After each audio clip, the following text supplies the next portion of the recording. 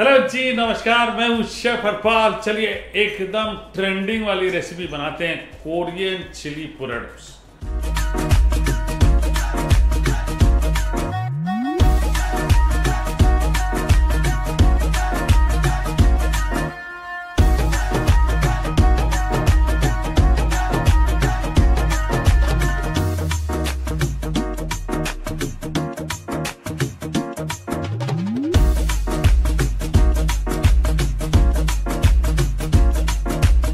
अब ये जो कोरियन के ड्रामा वगैरह ना इसको देख के कोरियन खाना भी बड़ा फ़ेमस होते जा रहा है। ये जो रेसिपी है सिंपल है, घर पे आसानी से बना सकते हैं।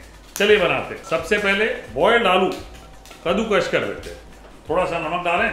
नमक, शमक टनक टनक इसमें डालेंगे मैदा, दो बड़े चम्मच कॉर्न स्टार्च ठीक है, ये भी दो बड़े चम्मच। थोड़ा ब्लैक पेपर डाल देता हूँ। एक छोटा चम्मच, चिली फ्लेक्स, एक चौथाई छोटा चम्मच, ये डाल के मिक्स कर लें। बढ़िया बाइंडिंग बन जाएगी। ये लीजिए, बिल्कुल बढ़िया डो बन गया। अब थोड़ा सा कॉर्न स्टार्च यहाँ मैं प्लेट में लगा देता हूँ और ये छोटे छोटे से बॉल्स बना लेते हैं। ठीक है, अच्छे से थोड़े राउंड करके रख दीजिए। ठीक है, ये इस तरह से रखने के बाद एक बोतल लीजिएगा। ठीक है पानी लगा दें ये साइड में, माउथ के साइड में, और इसको इस तरह से दबा लें। बिल्कुल बढ़िया बन गए हैं जी? इसी तरह से सब बनाने हैं मुझे। ये देखिए, ये शेप देना आपने। एक और बता देता हूँ इसको रखिए यहाँ, ठीक है? बेशक कोट कर लें। कोट करने के बाद कौन सा से भी कोट कर सकते हैं, ताकि चिपके नहीं। पानी भी लगा सकते हैं, और इसको मैं प्रेस कर लेता हूँ। ये देखिए, ये भी हो गया। बढ़िया राइट शेप देखिए, मशरूम जैसा हो गया। अब ऐसे ही सब बना लेने हैं। ये हो गए हमारे बढ़िया पुरडोस तैयार। बढ़िया लग रहे भाई, दो तरीके इसमें। एक्चुअली तीन तरीके हैं। पहला तरीका ये है कि आप इनको स्टीम कर सकते हैं। ठीक है स्टीम करने से क्या होगा कि जब पोराडोज आप टॉस करेंगे ना तो वो जल्दी सॉफ्ट हो जाएँगे। दूसरा आप बॉयल कर सकते हैं। ठीक है बॉइलिंग पानी में आपने डाला क्योंकि कौन सा मैदा है तो थोड़ी सी पकड़ आ जाएगी। वो एक तरीका। तीसरा, जो मुझे लगता है कि हिंदुस्तान में बहुत कम लोगों ने किया है, हम करेंगे। फ्राई हमें अच्छा लगता है ठीक है? ये लीजिए। वाह!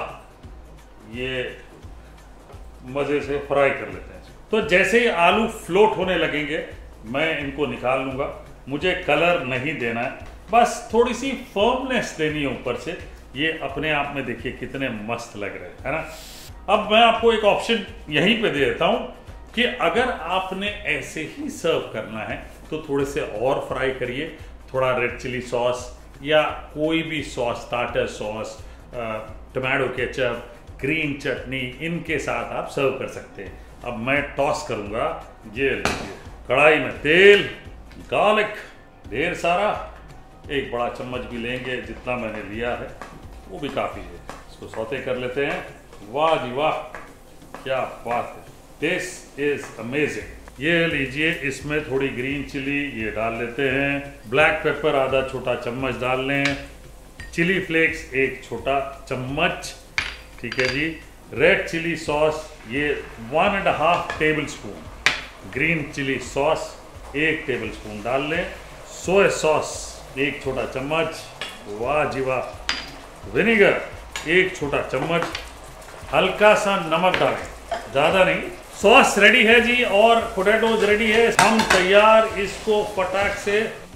ओह, क्या बात है। Spring onions and ready to serve क्या बात है, ये देखिए।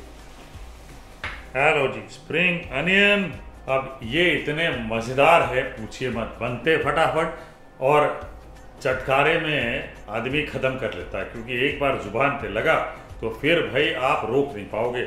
ये है के ड्रामा जैसे ही इंटरेस्टिंग रेसिपी ठीक है ना? कोरियन चिली पराडोज बनाइए और खाइए, मेरे अंदाज में।